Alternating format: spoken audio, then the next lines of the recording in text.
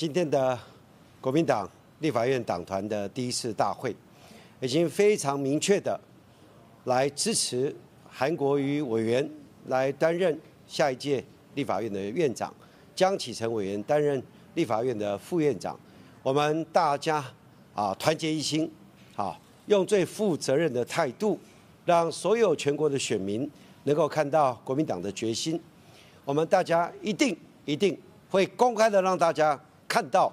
好，每一个人的投票都非常的清楚，而且我们当天啊，这个进入立法院以后，我们把所有的准备事项都已经完成，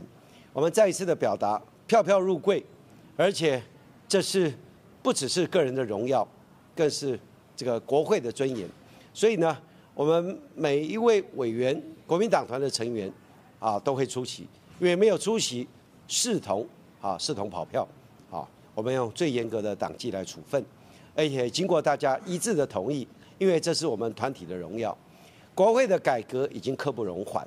我想这是全国百姓最关心的一件事情。在过去的八年，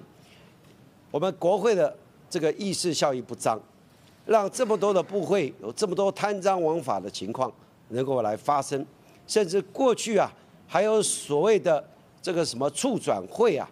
这个东厂啊，里面的对话、几几话，让大家不可思议。这样的人都能够在国家的高位，